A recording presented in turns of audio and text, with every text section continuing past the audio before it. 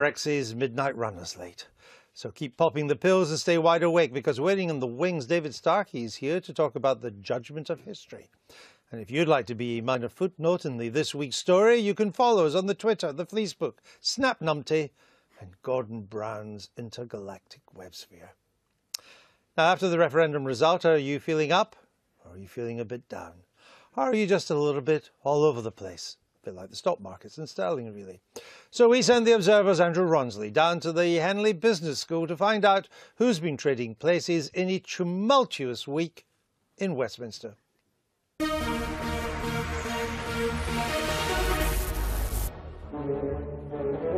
Sell, sell, sell. Those of you with long memories will recall that the Tories won last year's election by promising that they alone could guarantee certainty and stability. How's that working out for you? Sell! Sell! Sell everything! A referendum result that split the country down the middle has unleashed wild volatility on the financial and political markets. At 7 a.m. on Monday morning, an anxious world waited to hear from a voice of authority. The government came up with George Osborne. Britain has the strongest major advanced economy in the world. I said we had to fix the roof so that we were prepared for whatever the future held. And thank goodness we did. Soon afterwards, the pound sunk to a 31 year low against the dollar. Get rid of them all. I don't want to be holding any Osbornes. The Chancellor, once many a pundit's favourite to be the next Prime Minister, won't even be a candidate for the Tory leadership. In these turbulent times, at least we can rely on Her Majesty's opposition to fall apart. In despair, with Jeremy Corbyn, members of the Shadow Cabinet started to tender their resignation. What a welcome for the new Labour MP for Tooting on her first day in Parliament. Let me welcome the new member for Tooting to her place. Yeah. I think I'd advise her to keep her mobile phone on. She might be in the Shadow Cabinet by the end of the day.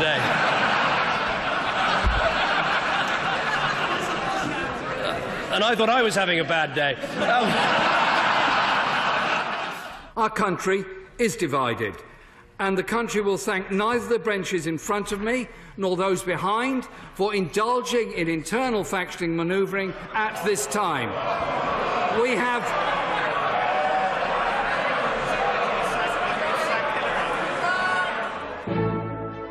Jeremy Corbyn told Parliament that he was concerned about job insecurity. As well he might, as more of his colleagues declared that the party would go bust unless he quit. I think Jeremy really, in the best interests of the party, needs to stand down. And we don't serve our party or the interests of the, some of the poorest people in our country and in our local communities by being a Labour Party that can't win an election. You're finding this very difficult? Yeah. Yeah. But I, I feel that I've served in the best way I can, and today I had to go it feels that the collision between the people who are seeking to get rid of Jeremy Corbyn and the people who are trying to stick in there uh, in Jeremy Corbyn's team risks breaking the Labour Party.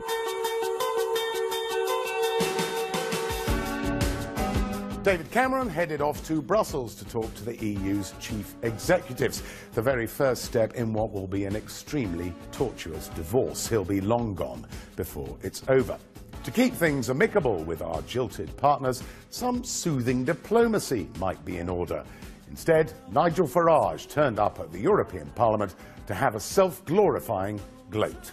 You know, when I came here 17 years ago, and I said that I wanted to lead a campaign to get Britain to leave the European Union, you all laughed at me. Well, I have to say, you're not laughing now, are you? You were fighting for the exit the British people voted in favour of the exit. Why are you here?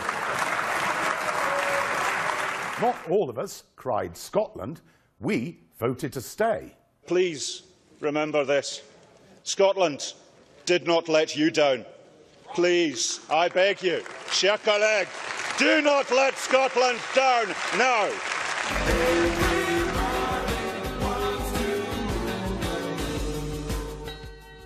Back in Blighty, Labour was now in complete meltdown. The Labour leader scrabbled together a new board, invited in the TV cameras so that we could start putting faces to these previously unknown names, and then had second thoughts. Seamus, I'm not sure this is a great idea. Is it? Can we do something later on, okay? Yeah, yeah, it's fine, yeah, okay. At his next appearance in the Commons, Mr Corbyn demonstrated that a sense of irony is not in his repertoire. The Prime Minister has two months left. Will he leave a one nation legacy? And will that one nation legacy and will that one nation legacy be the scrapping of the bedroom tax, the banning of zero hours contracts, and cancelling of the cuts to universal credit? When he talks about job insecurity and my two months to go, it might be in my party's interest for him to sit there. It's not in the national interest. And I would say, for heaven's sake, man, go. But even an overwhelming vote of no confidence in him by his MPs wasn't enough to persuade Mr Corbyn that his game is up. So now his fate, and with it, perhaps the very existence of the Labour Party, will be decided in a most bloody leadership battle.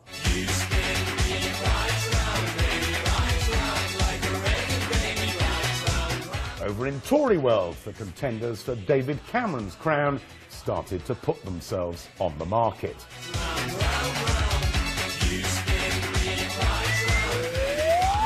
Mrs May presented herself as a safe haven. I know I'm not a showy politician. I don't tour the television studios. I don't gossip about people over lunch. I don't go drinking in Parliament's bars. I don't often wear my heart on my sleeve. I just get on with the job in front of me. Then Michael Gove shocked everyone, especially those who believed him when he previously said he wouldn't make a good Prime Minister by launching his bid to take over the Tory party. But during the course of the last few days, I've realised that while Boris does have those uh, very special abilities to communicate and to, uh, to reach out, what he did not have was the capacity to build and to lead that team and to provide the leadership the country needs at this critical moment. The market had anticipated a merger between the leading Brexiteers, so the Gove declaration triggered a frenzy of selling of Johnson's. And then this bombshell. He's done what? Well, I must tell you, my friends, you who have waited faithfully for the punchline of this speech, that having consulted colleagues and in view of the circumstances in Parliament, I have concluded that person cannot be me. So, have we ever had a week like this? I certainly can't remember one. Go on, surprise me. And I'm sure we will surprise him. Andrew Rawnsley trying to keep up and down with events. We're joined in the studio now by journalist and Jeremy Corbyn supporter Rachel Shabi and by the woman many talent spotters are calling the new Angus Robertson, possibly future leader of the SNP, star of PMQs, Tasmina Ahmed Sheikh. Welcome to both of you. If that doesn't ruin your career, I don't know what will. Alan Johnson, this was a provincial England peasants' revolt, and Labour was on the wrong side of it the, Europe, the EU election. Well, um, listen, the EU result uh, was uh, a disaster all around. I mean, Cameron managed to get 42% of Conservative supporters. He's the leader of the party. He's the one who's called the referendum. Sure, but we and always only got 42% knew of that his it support. needed Labour votes. We always knew that he needed Labour And we got to Labour win. votes, just not enough. He doesn't get nearly enough. I mean, the, the, Well, we your area, 64%. We needed 70 your area voted strongly to leave. yeah. You're not a Corbynite. This wasn't just a problem for Mr Corbyn. no, no. Uh, Yvonne, uh, Yvette Cooper's area lost. Indeed, every Brownite, uh, a centrist Labour MP, their area, outside of London, they voted to leave. Yeah, but it was about Europe. I mean, if you look at the elections, which is only just over a year ago, in most of those seats we had an increased majority, including mine. The issue of Europe, and in particular the issue of immigration, because this became a referendum on mm. immigration. Make no mistake about that. From the time the, the net migration figures mm. came out, 333,000, it turned from a debate about Europe and the economy But Uh, immigration was always there, but suddenly it was Sure. written like, it's one of the mistakes Boris Johnson made in his article we've just been talking about in the Telegraph on Monday. He said it was nothing to do with my immigration. Well, I think it was.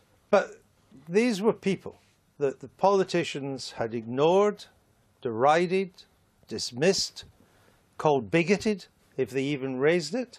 They were large Labour voters in large numbers, and they ignored their party. This was their probably last chance to give the establishment of the centre, left, and right a bloody nose, and they did. That's your assessment. I don't Well, accept that you. these people were, were, were ignored. I don't accept that we never talked about immigration. Sometimes it seemed to me we didn't talk about anything else. But you had We've been nothing to tell them debating about this issue.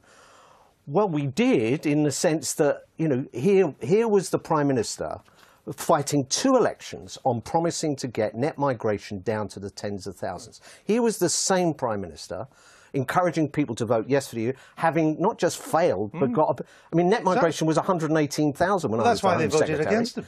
Absolutely, absolutely. Is So- this, is this so- the right perspective to see it through? Yes, I think it's a lethal combination of people being worried about immigration and despising the elite. And whenever they raise the question of immigration with the elite, the elite change the subject. Actually, Gordon Brown was again the best example during the referendum campaign. He was asked about immigration. And first of all, he said it was uh, a, a BBC obsession. Then he said it was an obsession of the Sun newspaper. And the only, Sim- the only issue was illegal immigration, he said. simply would not acknowledge that the people want to talk about it. Whenever David Cameron was asked about immigration, he started to talk about the economy. Mm. When Jeremy Corbyn said that you could not limit immigration if you were inside the European Union, the Labour Party set upon him for the cardinal sin of having told the truth.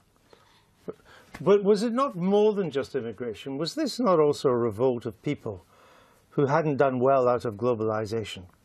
That in big cities like London, most people think that overall they've done pretty well out of globalization. If you go into the Midlands and further north, uh, of the north of England, there are plenty of people who don't feel they've done well, that inequality has widened, and the world has kind of passed them by.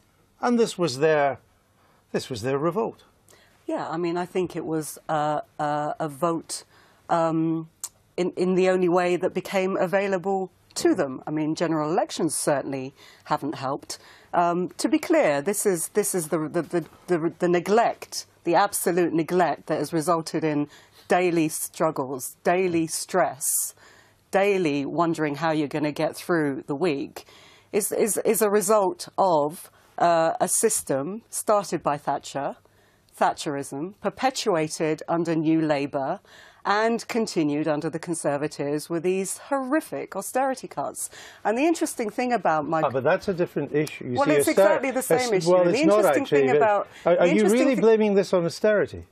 I'm, I'm saying austerity exacerbated a pre-existing Oh, condition right, begun by Thatcherism and mm. continued through New Labour. But the interesting thing about immigration is that, you know, there's a big difference between understanding that people are concerned about the strains caused by immigration and wanting to find solutions to that. So that would involve the sort of things that Jeremy Corbyn is talking about, which is making sure that employers don't undercut workers by bringing in cheaper migrant labour. That's essentially which- that, that's the illegal part you see, we try and have this conversation about politics. You actually never allow it, do you? Can we course actually? I do. I just like putting points to you, so it's not a mon- monologue. And what I'm saying is the undercutting of labour, of, of paying below the minimum wage, is essentially a phenomenon of illegal immigration. It's not a phenomenon of illegal immigration. It's a system by which companies are allowed to undercut local wages with migrant labour. The other way to address that is to look at areas that have been affected by large numbers of migrants and give them more funding. That's Mm. something that the Conservative government cut. The other way to look at it is to reskill a population, or you could um, embark on major infrastructure projects like housing. Which or- was particularly not and done. these and these are all things that actually have Let- been put forward Let by me Jeremy bring in Corbyn. Uh, of course, Scotland didn't have the revolt on this because you'd already had your anti-establishment revolt. You replaced the Labour establishment in Scotland. So it was a different dynamic. The SNP uh, and the pro-European campaign was a hugely positive uh, campaign in Scotland fought on a completely uh, different playing field to that that we've seen down south. And as we've already heard um, from Michael and Alan, you know, the, the idea of fighting this campaign on the basis of immigration was never going to be a good thing. And what do we have today? A fivefold increase in racist attacks. And, you know, people even on, on LBC today, there was, there was somebody on crying about, uh, you know, the effects of, of, of these attacks on them. So, you know, we're, we're working with a completely different framework, a positive campaign. And what did we have? 62%, every single local authority in Scotland voting to remain within the EU. The question is what then happened after that, Andrew? Because I think even a week on, the rest of the United Kingdom is still in absolute shock uh, as being, you know, feeling that they are without a plan. In Scotland, of course, we're in a completely different position. You know, within minutes, Nicola Sturgeon had made a statement. There was a meeting of the cabinet on Saturday. I don't think anyone can deny that Nicola okay. has a well, plan let, for let's Scotland. just look at what this plan might be. Will the Scottish Government stage a second independence referendum before the Brexit process is complete? Well, the First Minister has made it quite clear that there are a number of options on the table. None of them are off the table. And I think it's hugely important that she made that, that point. Sure, um, but you said you had a plan. But, but, then, but then beyond that, actually, she actually has, you know, the, the Scottish Parliament behind her, which is very Right. important. But what And- I'm and- asking is, will, if you've got a plan, does that plan involve a second independence referendum before the UK has completed the Brexit process? That is one of the options. Oh. Absolutely, Oh. So absolutely it a plan, but she's been sh- she's been in Brussels having meetings, hmm. unprecedented unprecedented meetings, I should No, say. no, I, I, I know that. I've been watch, watching But- that but it's important because no, it's I'm trying to work but- out where we're going. But it must be so, taken well, as let me ask you framework. this. The whole Is- framework, is- because she's out there to get the well, best part possible of the, deal for yeah, I know, Scotland. but all that's a kind of posturing. I'm trying to work out where we're oh, going no, here. that's not Will posturing, you secure? will the plan, if there is one, that you say there is, will that secure membership of the EU for Scotland before you recommend that Scotland leaves the UK? Well, you know, you talk about a plan. We have a number of options because, No, of course, talked about a well, well, because, well, you asked me about the Mm. plan. Of course, it's not within our gift to decide what might happen because there are a number of negotiations and discussions to take place with the UK government within the framework of Brexit and also with our friends in the European Union with whom Right. we've had very positive But- discussion. but- and it's uh, important to know, Andrew. I understand that, but uh, I'm just trying to get this clear. If you're going to go for a second referendum, will it be the aim of the Scottish Government, first of all, to clinch EU membership for Scotland before you then put independence to the Scottish people? absolutely want to have a, a clear position in terms of our hmm. membership of the EU, and that is why it is very important that our First Minister be involved in the discussions, that whoever will be having them, obviously it's not David Cameron, the people of this country don't know who that's going to be, with, with our But these are discussions to leave. Let, let me try one there, more but there time. are many options, Will Andrew. you clinch EU membership? Will you get an agreement with the EU that if you come out of the UK, your EU membership as an independent nation is guaranteed before the referendum? Well, let me just rewind you back to 2014, Andrew. When, but this is I've important. But it's very important because everything should be seen within a context. Let's remember the people of Scotland have voted 62% to remain within the EU. That is their wish, and it is the job of the First Minister to no, execute I that. understand that. These same people, the people in Scotland, were told that to remain in the EU, we had to vote no in the Scottish independence referendum. Therefore, it is correct that any vote on IndyRef 2 be framed within the EU context. I understand that, but I'm just trying to get clear what the strategy would be. But it's early days. They're only a week and no one seems to know what their strategy is. Well, Nicola Uh, Sturgeon knows what the strategy is. Well, That's- I've just asked you some sure. questions, and you've not been- been able to tell me But I have, Andrew. I've answered is. all of your questions. Well, I, I'm not sure you have, but as usual, the viewers will make up their minds. At a time when the opportunities for an opposition have never been greater, in many ways more needed, why is the Labour Party a dysfunctional mess? Yeah, that's a really good question. I mean, I think, um, you know, bad enough that the uh, Labour Party has chosen this moment when we desperately need, as you say, a strong and robust opposition to tear themselves apart. Bad enough um, that they're doing it in such a calculated way so that they're staggering the resignation so that they dominate the media cycle instead of, for example, either the mess we're in or the Conservative Party. Bad enough that they're trying to blame Jeremy Corbyn for having failed to secure uh, a Remain vote when in fact he got as much of the votes as Nicola Sturgeon's SNP did. Um, but to top it all off, this is the worst coup I've ever seen. In what sense? There's no plan. There's no leader. Who's the candidate?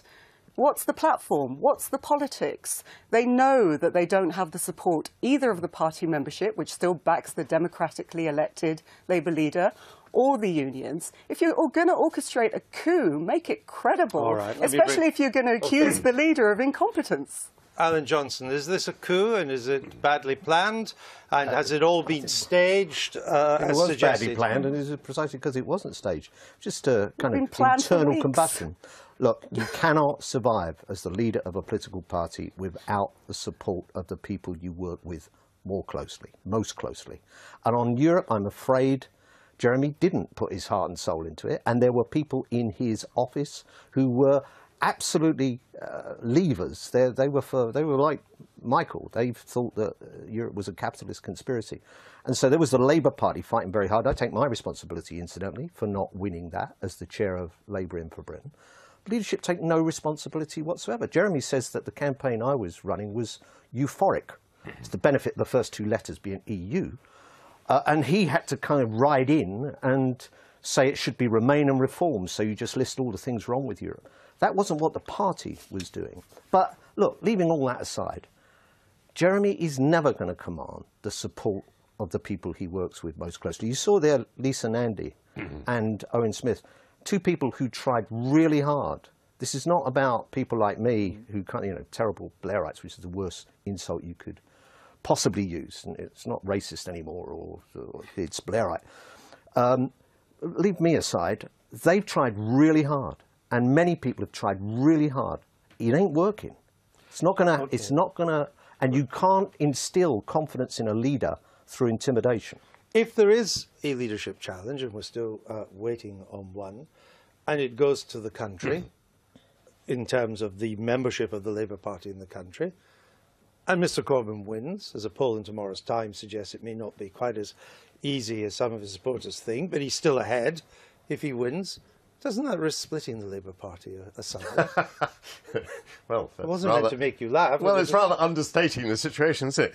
Uh, I mean, first of all, w- would he be a candidate on the ballot? I, I, I think that might need to be something that was tested. Well, let's assume that he is. Well, I- uh, no, no, because I na- think- natural justice would suggest he should be. He is the incumbent. I disagree with that, and I think it ought to be tested in the courts. And I think that may be where the Labour Party has to go. You go. guys are deluding yourselves. Through- You are through the both court. No, deluding no, you're- yourselves. you're deluding He's yourself. on the ballot. That's why you won't raise a leadership candidate because you know But the whoever, people on the ballot whoever you people put up against him is going to lose. The people, May may I people on the ballot, the people who've got the may confidence of the you, PLP. On the subject of delusion. So it works. How will you fight a general election when every interviewer, like Andrew, will simply say to every candidate, why should anyone think that Jeremy Corbyn could be Prime Minister when 80% of his members Because of Parliament don't? The only way you can ask There's that no- question no is that you've completely misunderstood the appeal of Jeremy Corbyn and his politics. You've completely misunderstood why that kind of politics resonates so strongly with the population kind of and with Labour voters. You would never be asking that question if you had any inkling of why it's so powerful and,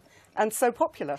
But where we, where you, we are, You've made me a happy man we, we, we really do very quickly have to move the argument on from who's leading which party because at the end of the day, we faced a vote, we have a result.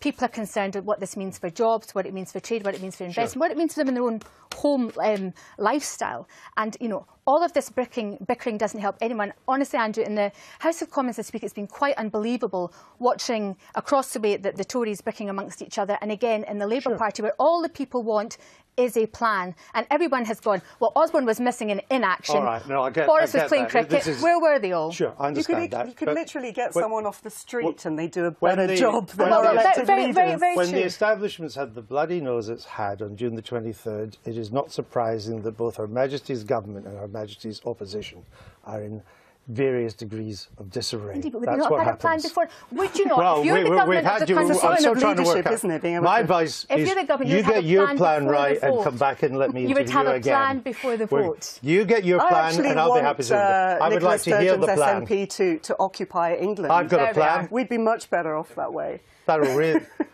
that'll really get English votes. Well done. Now, we will surprise him. Andrew Rawnsley trying to keep up and down with events. We're joined in the studio now by journalist and Jeremy Corbyn supporter Rachel Shabi and by the woman many talent spotters are calling the new Angus Robertson, possibly future leader of the SNP, star of PMQs, Tasmina Ahmed Sheikh. Welcome to both of you. If that doesn't ruin your career, I don't know what will. Alan Johnson, this was a provincial England peasants' revolt, and Labour was on the wrong side of it. The, Europe, the EU election. Well, um, listen, the EU result uh, was uh, a disaster all around. I mean, Cameron managed to get 42% of Conservative supporters. He's the leader of the party. He's the one who's called the referendum. Sure, but we and always got knew 42% that of his it support. needed Labour votes. We always knew that he needed Labour And we got Labour to win. votes, just not enough. He doesn't get nearly enough. I mean, the, the Well, we your area, 64%. We needed 70 your area voted strongly to leave. yeah. You're not a Corbynite. This wasn't just a problem Uh, for Mr. Corbyn. no, no. Uh, Yvonne, uh, Yvette Cooper's area lost. Indeed, every Brownite, uh, a centrist Labour MP, their area outside of London, they voted to leave. Yeah, but it was about Europe. I mean, if you look at the elections, which is only just over a year ago, in most of those seats we had an increased majority, including mine. The issue of Europe, and in particular the issue of immigration, because this became a referendum on immigration. Make no mistake about that. From the time the, the net migration figures came out, 333,000, it turned from a debate about Europe and the economy. But uh, immigration was always there, but suddenly it was Sure. it's one of the mistakes Boris Johnson made in his article we've just been talking about in the Telegraph on Monday. He said it was nothing to do with my immigration. Well, I think it was. But these were people that the politicians had ignored, derided, dismissed, called bigoted, if they even raised it. They were large Labour voters in large numbers, and they ignored their party. This was their probably last chance to give the establishment of the centre, left, and right a bloody nose, and they did. That's your assessment. I don't Well, accept that you. these people were, were, were ignored. I don't accept that we never talked about immigration. Sometimes it seemed to me we didn't talk about anything else. But you had We've been nothing to tell them debating about this issue. Well, we did in the sense that, you know, here, here was the Prime Minister fighting two elections on promising to get net migration down to the tens of thousands. Here was the same Prime Minister encouraging people to vote yes for you, having not just failed, but mm. got, a, I mean, net migration was 118,000 when Well, I that's was why they voted Secretary. against him. Absolutely, absolutely. Is So- this, is this so- the right perspective to see it through? Yes, I think it's a lethal combination of people being worried about immigration and despising the elite. And whenever they raise the question of immigration with the elite, the elite change the subject. Actually, Gordon Brown was again the best example during the referendum campaign. He was asked about immigration. And first of all, he said it was uh, a, a BBC obsession. Then he said it was an obsession of the Sun newspaper. And the only, Sim- the only issue was illegal immigration, he said. simply would not acknowledge that the people want to talk about it. Whenever David Cameron was asked about immigration, he started to talk about the economy. Mm. When Jeremy Corbyn said that you could not limit immigration if you were inside the European Union, the Labour Party set upon him for the cardinal sin of having told the truth. But was it not more than just immigration? Was this not also a revolt of people who hadn't done well out of globalization? That in big cities like London, most people think that overall they've done pretty well out of globalization. If you go into the Midlands and further north, uh, of the north of England, there are plenty of people who don't feel they've done well. That inequality has widened, and the world has kind of passed them by. And this was their, this was their revolt. Yeah, I mean, I think it was uh, uh, a vote um, in, in the only way that became available. well, Is- framework is- because she's out there to get the well, best part possible of the, deal for yeah, I know, Scotland. but all that's a kind of posturing. I'm trying to work out where we're going no, here. that's not Will posturing, you it's secure? practical action. will the plan, if there is one that you say there is, will that secure membership of the EU for Scotland before you recommend that Scotland leaves the UK? Well, you know, you talk about a plan. We have a number of options because, No, of course, talked about a well, well, because, well, you asked me about the plan. Mm. Of course, it's not within our gift to decide what might happen because there are a number of negotiations and discussions to take place with the UK government within the framework of Brexit and also with our friends in the European Union with whom Right. we've had very positive But- discussions. but- and it's important to know, Andrew. I understand that, but I'm just trying to get this clear.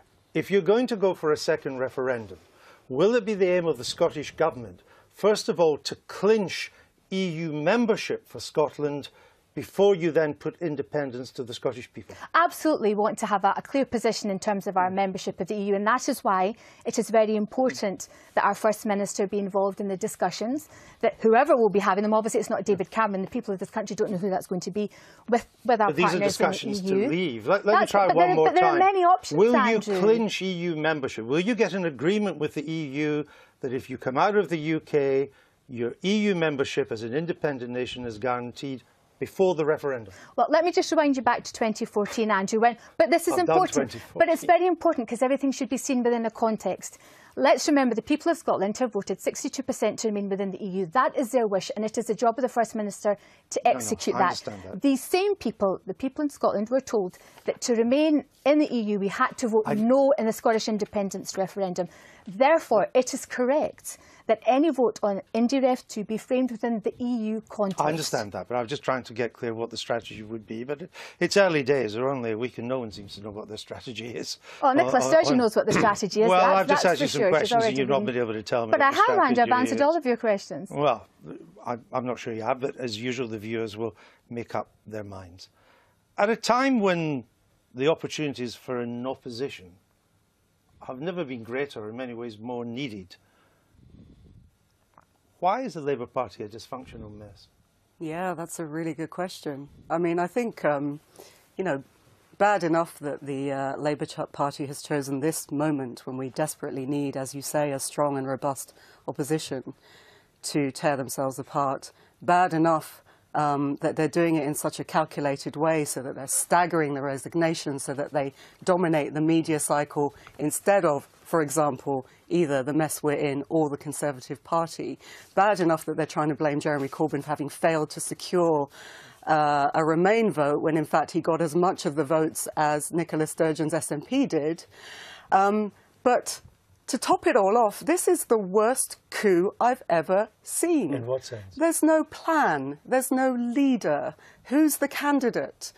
What's the platform? What's the politics? They know that they don't have the support either of the party membership, which still backs the democratically elected Labour leader, or the unions. If you're going to orchestrate a coup, make it credible, All right, especially bring- if you're going to accuse the leader of incompetence. Alan Johnson, is this a coup and is it badly planned? And has it all been staged uh, it as was suggested? badly planned, and is it precisely because it wasn't staged. Just a kind of internal combustion. Look, you cannot survive as the leader of a political party without the support of the people you work with more closely, most closely. And on Europe, I'm afraid Jeremy didn't put his heart and soul into it, and there were people in his office who were absolutely uh, leavers. They, they were for, they were like Michael. They thought that uh, Europe was a capitalist conspiracy, and so there was the Labour Party fighting very hard. I take my responsibility, incidentally, for not winning that as the chair of Labour in for Britain. to them. I mean, general elections certainly haven't helped. Um, to be clear, this is this is the the, the the the neglect, the absolute neglect that has resulted in daily struggles, daily stress, daily wondering how you're going to get through the week, is is is a result of uh, a system started by Thatcher. Thatcherism, perpetuated under New Labour and continued under the Conservatives with these horrific austerity cuts. And the interesting thing about my Ah, but that's a different issue. You Well, see, it's exactly the same issue. Well, The interesting actually. thing about- Are, are you really blaming this on austerity? I'm, I'm saying austerity exacerbated a pre-existing Ah, condition right, begun by Thatcherism and continued through New Labour. But the interesting thing about immigration is that, you know, there's a big difference between understanding that people are concerned about the strains caused by immigration and wanting to find solutions to that. So that would involve the sort of things that Jeremy Corbyn is talking about, which is making sure that employers don't undercut workers by bringing in cheaper migrant labour. But that's essentially which- that, that's the illegal part you of see, we try and have this conversation about politics. You actually never allow it, do you? Can we Yes, actually? I do. I just like putting points to you, so it's not a mon- monologue. And what I'm saying is the undercutting of labour, of, of paying below the minimum wage, is essentially a phenomenon of illegal immigration. It's not a phenomenon of illegal immigration. It's a system by which companies are allowed to undercut local wages with migrant labour. The other way to address that is to look at areas that have been affected by large numbers of migrants and give them more funding. That's Mm. something that the Conservative government cut. The other way to look at it is to reskill a population, or you could um, embark on major infrastructure projects like housing. Which or- was particularly not and done. these and these are all things that actually have Let- been put forward Let by me Jeremy bring in Corbyn. Tasmina. Uh, of course, Scotland didn't have the revolt on this, because you'd already had your anti-establishment revolt. You replaced the Labour establishment in Scotland. So it was a different dynamic. The SNP uh, and the pro-European campaign was a hugely positive uh, campaign mm in Scotland, fought on a completely uh, different playing field to that that we've seen down south. And as we've already heard um, from Michael and Alan, you know, the, the, idea of fighting this campaign on the basis of immigration was never going to be a good thing. And what do we have today? A fivefold increase in racist attacks. And, mm. you know, people even on, on LBC today, there was, there was somebody on crying about, uh, you know, the effects of, of, of these attacks on them. So, you know, we're, we're working with a completely different framework, a positive campaign. And what did we have? 62%, every single local authority in Scotland voting to remain within the EU. The question is what then happened after that, Andrew, because I think even a week on, the rest of the United Kingdom is still in absolute shock uh, as being, you know, feeling that they are without a plan. In Scotland, of course, we're in a completely different position. You know, within minutes, Nicola Sturgeon had made a statement. There was a meeting of the cabinet on Saturday. I don't think anyone can deny that Nicola okay. has a well, plan let, for let's Scotland. just look at what this plan might be. Will the Scottish Government stage a second independence referendum before the Brexit process is complete? Well, the First Minister has made it quite clear that there are a number of options on the table. None of them are off the table. And I think it's hugely important that she made that, that point. Sure, um, but you said you had a plan. But, but, then, but then beyond that, actually, she actually has, you know, the, the Scottish Parliament behind her, which is very important. But what and, I'm asking is, will, if you've got a plan, does that plan involve a second independence referendum before the UK has completed the Brexit process. That is one of the options. Absolutely, oh. absolutely so it is. Plan, but she's been sh she's been in Brussels having meetings, hmm. unprecedented unprecedented meetings. I should no, say. No, I, I know that. I've been watch, watching but, that but it's important because no, it's I'm trying to work out where we're going. But it must be taken so, well, let a me whole ask framework. You this. Order. Instead, Nigel Farage turned up at the European Parliament to have a self-glorifying gloat. You know, when I came here 17 years ago, and I said that I wanted to lead a campaign to get Britain to leave the European Union, you all laughed at me. Well, I have to say, you're not laughing now, are you? You were fighting for the exit. The British people voted in favour of the exit. Why are you here? Not all of us cried Scotland. We voted to stay. Please remember this. Scotland did not let you down. Please, I beg you, chers collègues, do not let Scotland down now.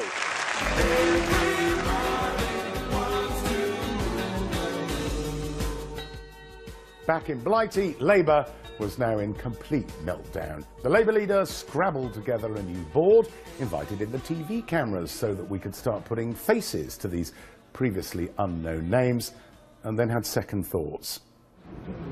Seamus, I'm not sure this is a great idea. Can we do something later on, okay? Yeah, yeah, it's fine, yeah, okay.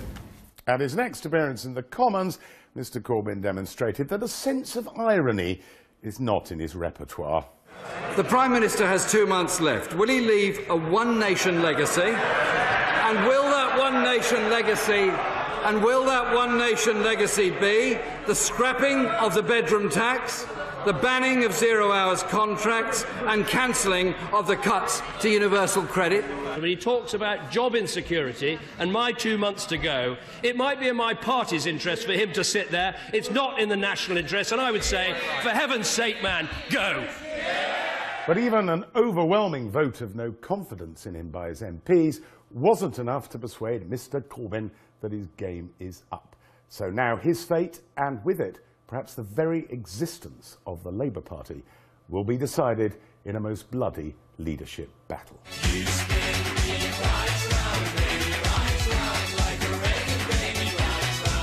Over in Tory world, the contenders for David Cameron's crown started to put themselves on the market.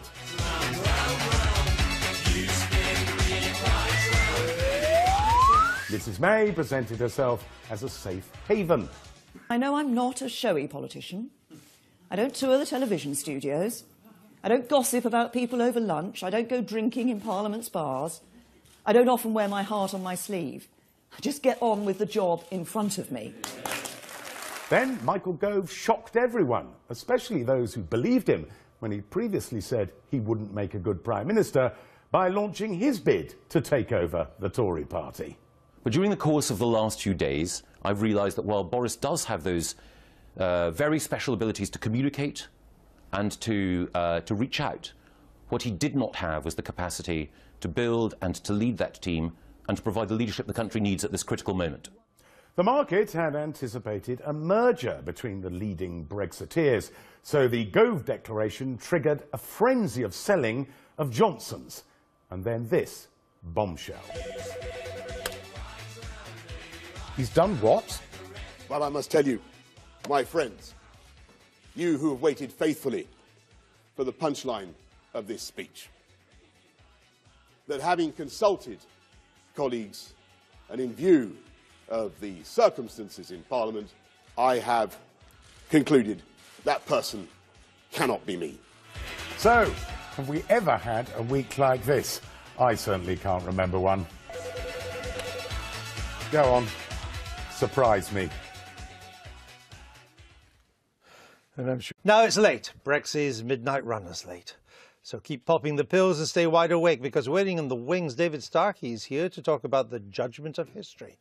And if you'd like to be a minor footnote in the This week's story, you can follow us on the Twitter, the Fleecebook, Snapnumpty, and Gordon Brown's intergalactic websphere. Now, after the referendum result, are you feeling up or are you feeling a bit down? Or are you just a little bit all over the place? A bit like the stock markets and sterling, really. So we send the Observer's Andrew Rawnsley down to the Henley Business School to find out who's been trading places in a tumultuous week in Westminster.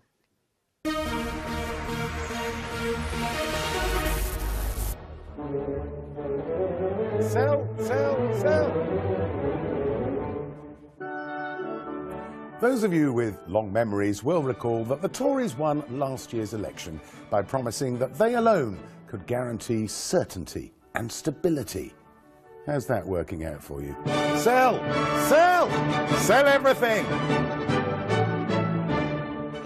A referendum result that split the country down the middle has unleashed wild volatility on the financial and political markets.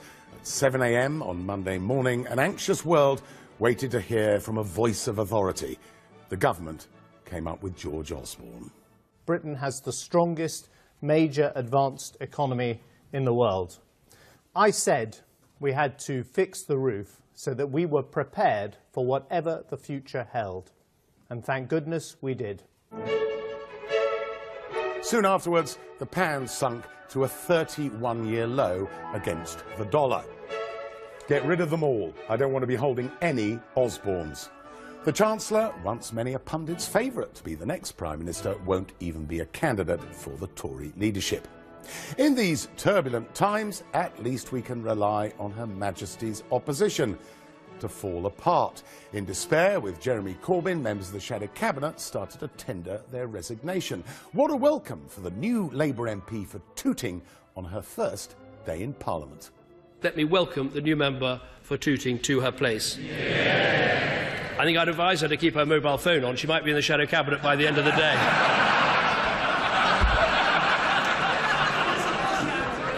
and I thought I was having a bad day. Um, Our country is divided, and the country will thank neither the benches in front of me nor those behind for indulging in internal factioning manoeuvring at this time. We have.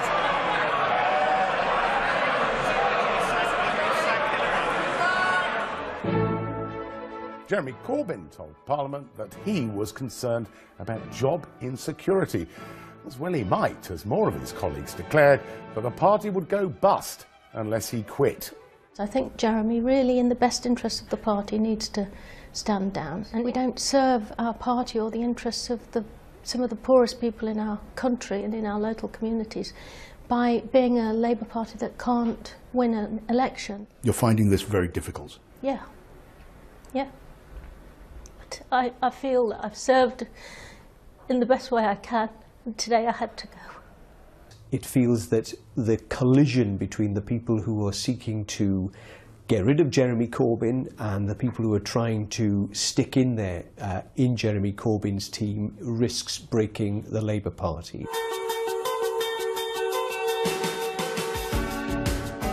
David Cameron headed off to Brussels to talk to the EU's chief executives. The very first step in what will be an extremely tortuous divorce. He'll be long gone before it's over. To keep things amicable with our jilted partners, some soothing diplomacy might be. For the exit, the British people voted in favour of the exit. Why are you here? Not all of us cried Scotland. We voted to stay.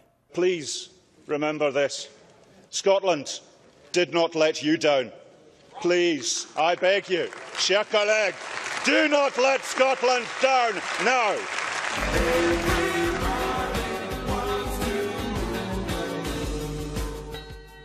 Back in Blighty, Labour was now in complete meltdown. The Labour leader scrabbled together a new board, invited in the TV cameras so that we could start putting faces to these previously unknown names, and then had second thoughts. Seamus, I'm not sure this is a great idea. Can we do something later on, okay? Yeah, yeah, it's fine, yeah, okay. At his next appearance in the Commons, Mr Corbyn demonstrated that a sense of irony is not in his repertoire. The Prime Minister has two months left. Will he leave a one nation legacy? And will that one nation legacy and will that one nation legacy be the scrapping of the bedroom tax, the banning of zero hours contracts, and cancelling of the cuts to universal credit? When he talks about job insecurity and my two months to go, it might be in my party's interest for him to sit there. It's not in the national interest. And I would say, for heaven's sake, man, go. But even an overwhelming vote of no confidence in him by his MPs wasn't enough to persuade Mr Corbyn that his game is up. So now his fate, and with it, perhaps the very existence of the Labour Party, will be decided in a most bloody leadership battle.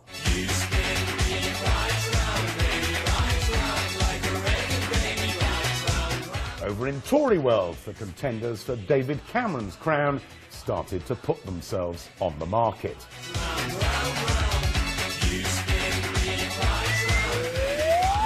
Mrs May presented herself as a safe haven. I know I'm not a showy politician. I don't tour the television studios. I don't gossip about people over lunch. I don't go drinking in Parliament's bars. I don't often wear my heart on my sleeve. I just get on with the job in front of me. Then Michael Gove shocked everyone, especially those who believed him when he previously said he wouldn't make a good Prime Minister by launching his bid to take over the Tory party.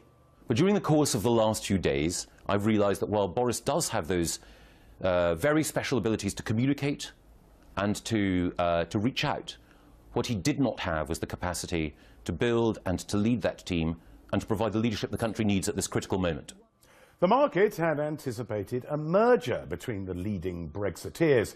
So the go. Is oh, Well, Nicola Sturgeon knows what the strategy is. Well, That- I've just that's asked you for some sure. She's questions and already you've not been- been able to tell me. But I have, Andrew. I've answered is. all of your questions. Well, I, I'm not sure you have, but as usual, the viewers will make up their minds.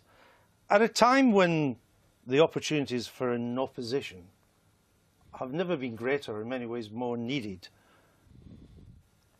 why is the Labour Party a dysfunctional mess? Yeah, that's a really good question. I mean, I think, um, you know, bad enough that the uh, Labour Party has chosen this moment when we desperately need, as you say, a strong and robust opposition to tear themselves apart. Bad enough um, that they're doing it in such a calculated way so that they're staggering the resignation so that they dominate the media cycle instead of, for example, either the mess we're in or the Conservative Party. Bad enough that they're trying to blame Jeremy Corbyn for having failed to secure uh, a Remain vote when in fact he got as much of the votes as Nicola Sturgeon's SNP did. Um, but to top it all off, this is the worst coup I've ever seen. In what sense? There's no plan. There's no leader. Who's the candidate?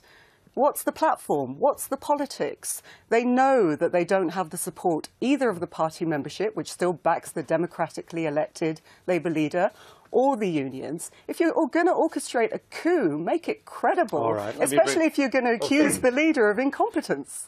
Alan Johnson, is this a coup and is it badly planned? And has it all been staged uh, it as was suggested? badly planned, and it is precisely because it wasn't staged. Just a kind been of internal combustion. Look, you cannot survive as the leader of a political party without the support of the people you work with more closely, most closely. And on Europe, I'm afraid Jeremy didn't put his heart and soul into it. And there were people in his office who were absolutely uh, leavers. They, they, were for, they were like Michael. They thought that uh, Europe was a capitalist conspiracy. And so there was the Labour Party fighting very hard. I take my responsibility, incidentally, for not winning that as the chair of Labour in for Britain. To them. I mean, general elections certainly haven't helped.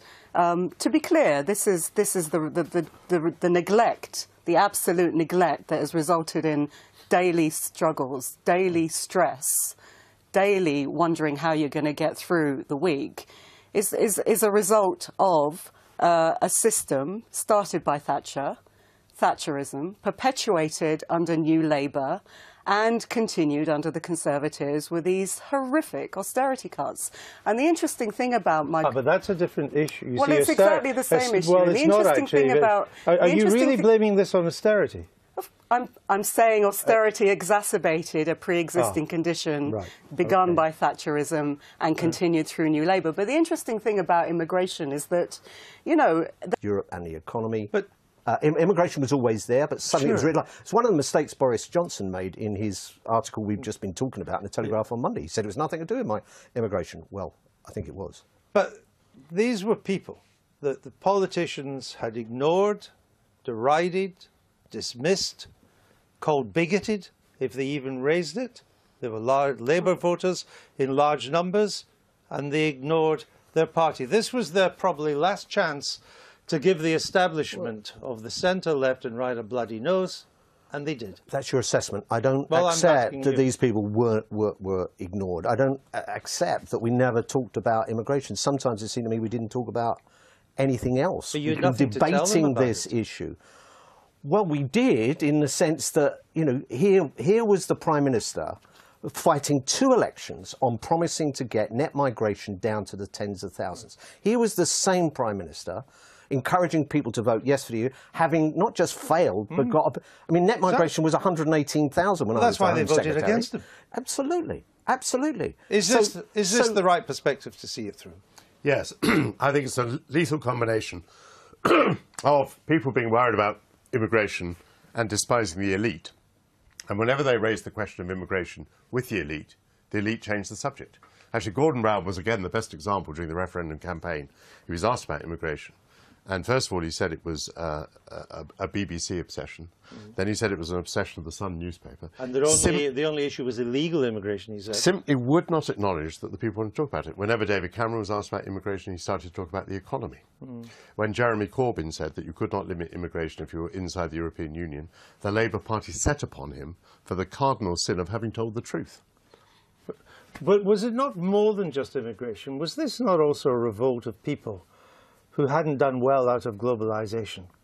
That in big cities like London, most people think that overall they've done pretty well out of globalization. If you go into the Midlands and further north, uh, of the north of England, there are plenty of people who don't feel they've done well. That inequality has widened, and the world has kind of passed them by. And this was their, this was their revolt. Yeah, I mean, I think it was uh, uh, a vote um, in, in the only way that became available. Whole framework because she's out there to get the Well, best part possible of the, deal for yeah, I Scotland. know, but all that's a kind of posturing. I'm trying to work out where we're going no, here. that's not Will posturing, you it's secure? practical action. will the plan, if there is one that you say there is, will that secure membership of the EU for Scotland before you recommend that Scotland leaves the UK? Well, you know, you talk about a plan. We have a number of options because, No, of you course, talked about a well, well, because, well, you asked me about the plan. Mm. Of course, it's not within our gift to decide what might happen because there are a number of negotiations and discussions to take. Let Scotland down now.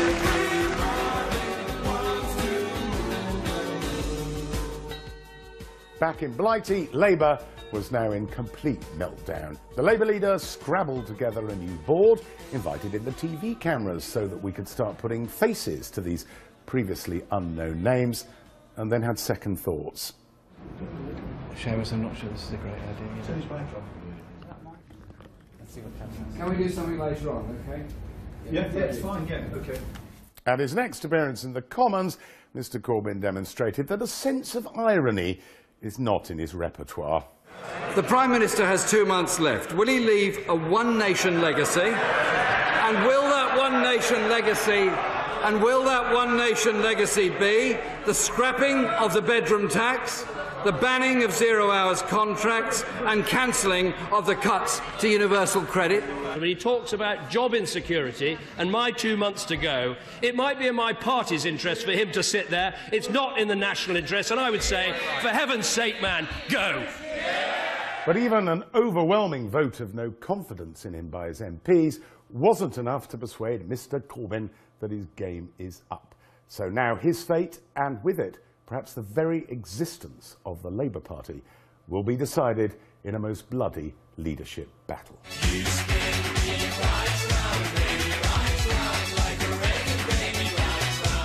Over in Tory world, the contenders for David Cameron's crown started to put themselves on the market.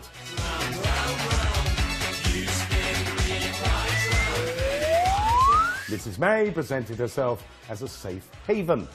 I know I'm not a showy politician. I don't tour the television studios. I don't gossip about people over lunch. I don't go drinking in Parliament's bars. I don't often wear my heart on my sleeve. I just get on with the job in front of me. Then Michael Gove shocked everyone, especially those who believed him when he previously said he wouldn't make a good Prime Minister by launching his bid to take over the Tory party. But during the course of the last few days, I've realised that while Boris does have those uh, very special abilities to communicate and to, uh, to reach out, what he did not have was the capacity to build and to lead that team and to provide the leadership the country needs at this critical moment. The market had anticipated a merger between the leading Brexiteers, so the Gove declaration triggered a frenzy of selling of Johnson's. And then this bombshell. He's done what?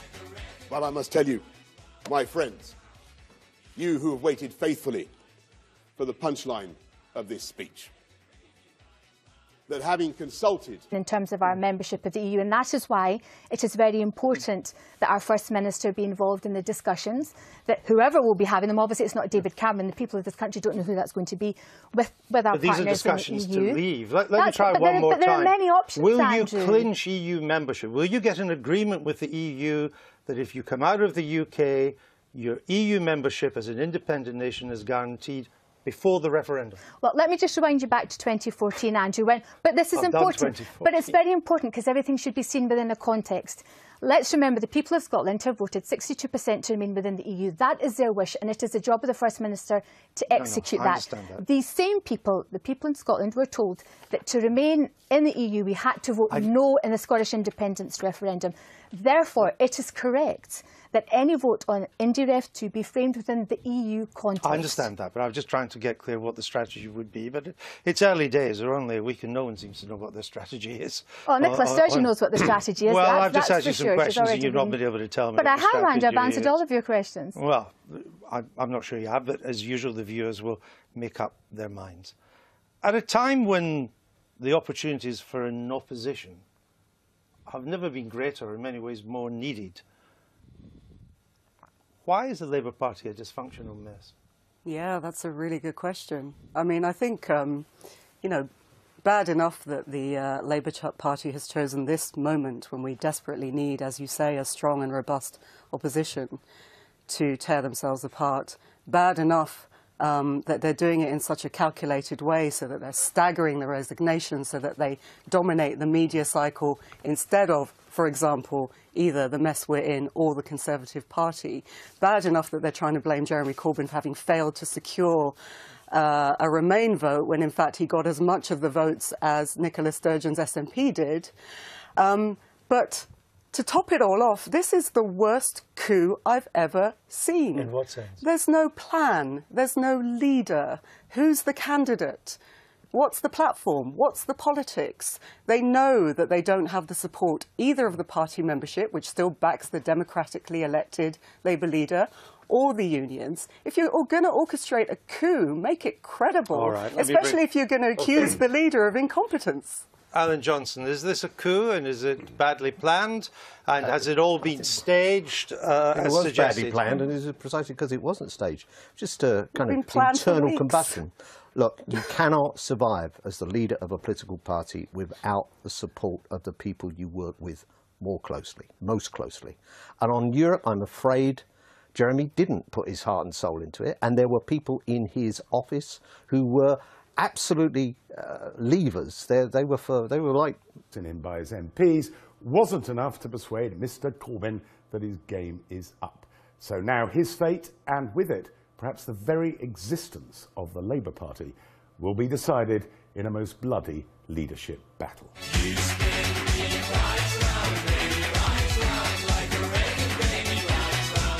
Over in Tory world, the contenders for David Cameron's crown started to put themselves on the market.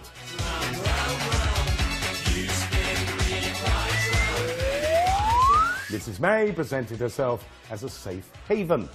I know I'm not a showy politician. I don't tour the television studios. I don't gossip about people over lunch. I don't go drinking in Parliament's bars. I don't often wear my heart on my sleeve. I just get on with the job in front of me. Then Michael Gove shocked everyone, especially those who believed him when he previously said he wouldn't make a good Prime Minister by launching his bid to take over the Tory party. But during the course of the last few days, I've realised that while Boris does have those uh, very special abilities to communicate and to, uh, to reach out, what he did not have was the capacity to build and to lead that team and to provide the leadership the country needs at this critical moment. The market had anticipated a merger between the leading Brexiteers, so the Gove declaration triggered a frenzy of selling of Johnson's. And then this bombshell. He's done what? Well, I must tell you, my friends, you who have waited faithfully for the punchline of this speech, that having consulted colleagues and in view of the circumstances in Parliament, I have concluded that person cannot be me. So, have we ever had a week like this? I certainly can't remember one. Go on, surprise me. And I'm sure. Now it's late. Brex's midnight runner's late. So keep popping the pills and stay wide awake because waiting in the wings, David Starkey is here to talk about the judgment of history.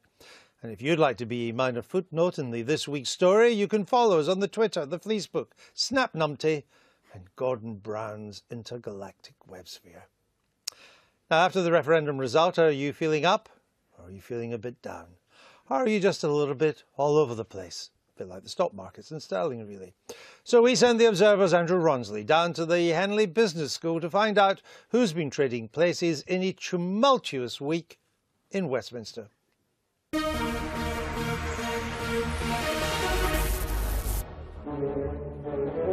Sell, sell, sell. Tory party. But during the course of the last few days, I've realised that while Boris does have those uh, very special abilities to communicate and to, uh, to reach out, what he did not have was the capacity to build and to lead that team and to provide the leadership the country needs at this critical moment. The market had anticipated a merger between the leading Brexiteers, so the Gove declaration triggered a frenzy of selling of Johnson's. And then this bombshell. He's done what? Well, I must tell you, my friends, you who have waited faithfully for the punchline of this speech, that having consulted colleagues and in view of the circumstances in Parliament, I have concluded that person cannot be me. So, have we ever had a week like this? I certainly can't remember one. Go on, surprise me. And I'm sure. Now it's late. Brex's midnight runner's late. So keep popping the pills and stay wide awake because waiting in the wings, David Starkey is here to talk about the judgment of history. And if you'd like to be a minor footnote in the This week's story, you can follow us on the Twitter, the Fleecebook, Snap Numpty, and Gordon Brown's intergalactic websphere. Now, after the referendum result, are you feeling up or are you feeling a bit down? Or are you just a little bit all over the place? A bit like the stock markets and sterling, really. So we send the Observer's Andrew Rawnsley down to the Henley Business School to find out who's been trading places in a tumultuous week in Westminster.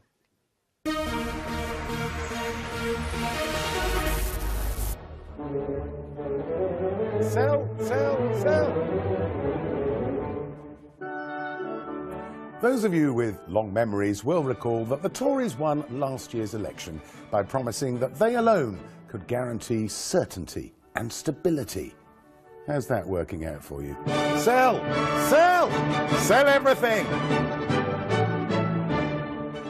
A referendum result that split the country down the middle has unleashed wild volatility on the financial and political markets.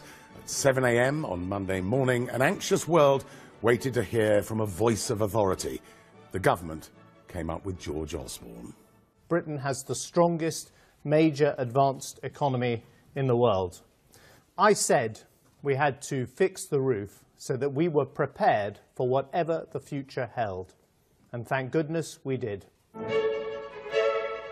Soon afterwards, the pound sunk to a 31 year low against the dollar. Get rid of them all. I don't want to be holding any Osbornes.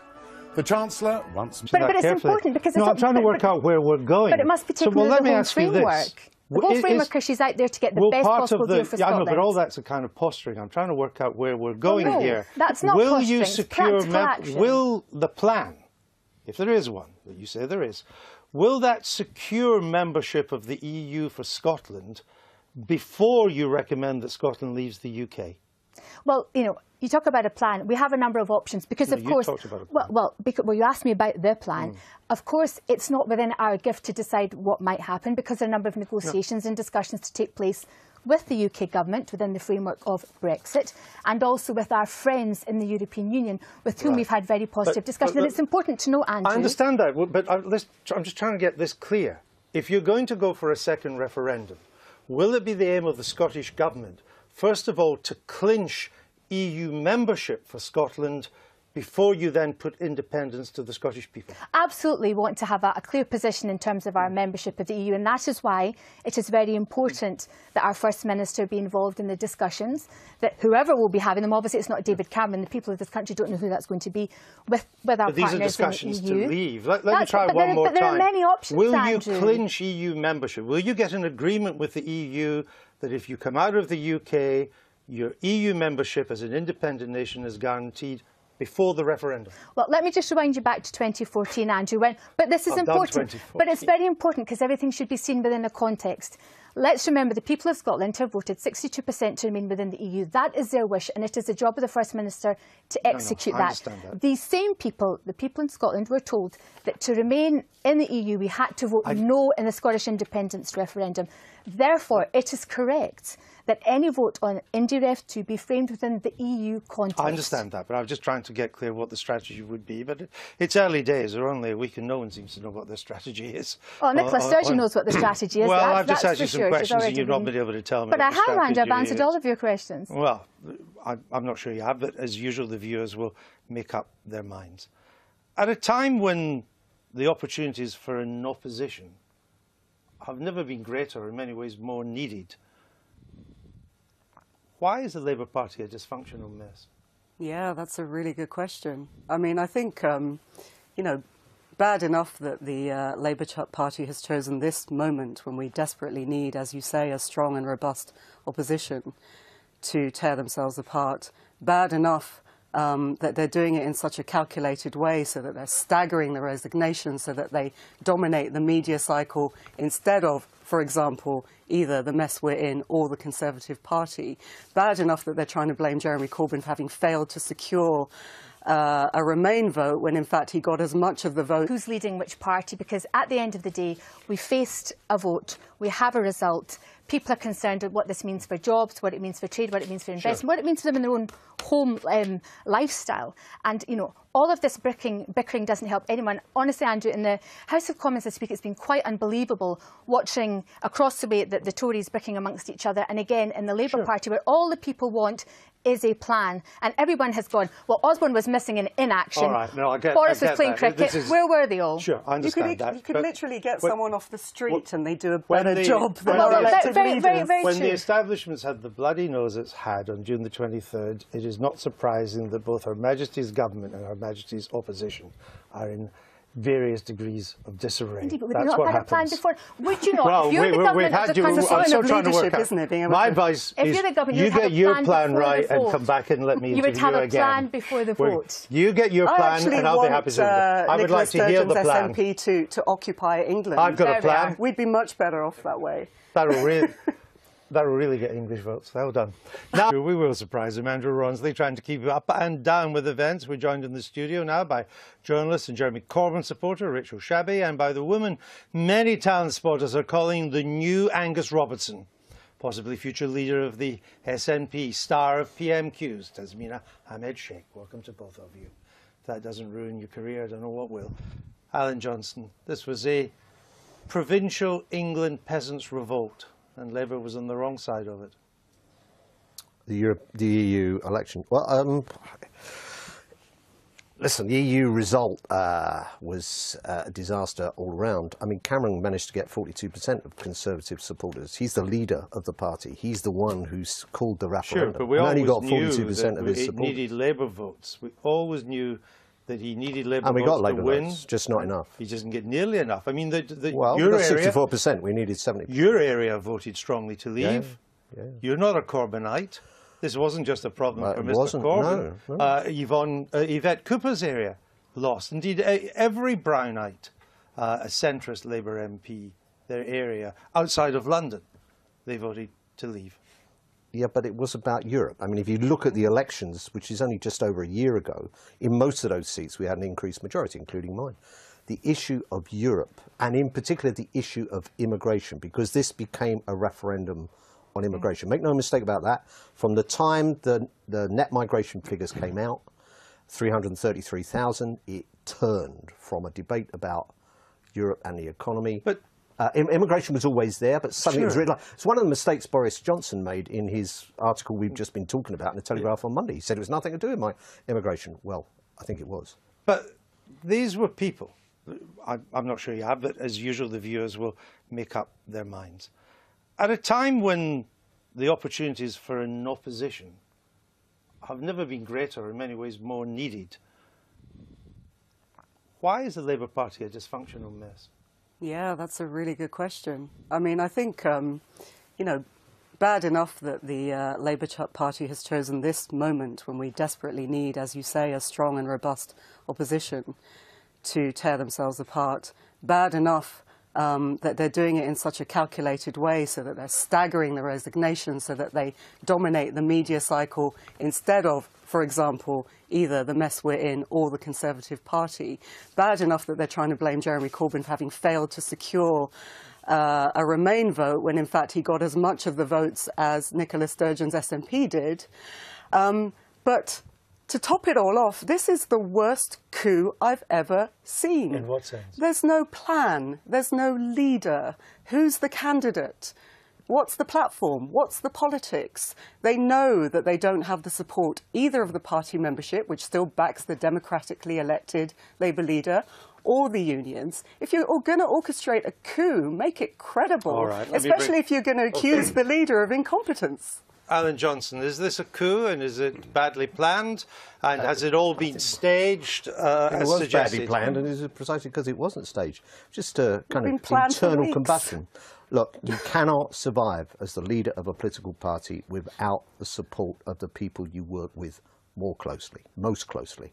And on Europe, I'm afraid Jeremy didn't put his heart and soul into it, and there were people in his office who were absolutely uh, leavers. They, they were for, they were like Michael. They thought that uh, Europe was a capitalist conspiracy, and so there was the Labour Party fighting very hard. I take my responsibility, incidentally, for not winning that as the chair of Labour in for Britain. Leadership take no responsibility whatsoever. Jeremy says that the campaign I was running was euphoric. It's the benefit of the first two letters being EU. Uh, and he had to kind of ride in and say it should be remain and reform. So you just list all the things wrong with Europe. That wasn't what the party was doing. But look, leaving all that aside, Jeremy is never going to command the support of the people he works with most closely. You saw there Lisa Nandy and Owen Smith, two people who tried really hard. This is not about people like me who kind of, you know, terrible Blairites, which is the worst insult you could possibly use. And it's not racist anymore, or, or it's Blairite. Um, leave me aside. They've tried really hard, and many people have tried really hard. It ain't working. It's not gonna. It's not gonna. And you can't instill confidence in a leader through intimidation. If there is a leadership challenge, and we're still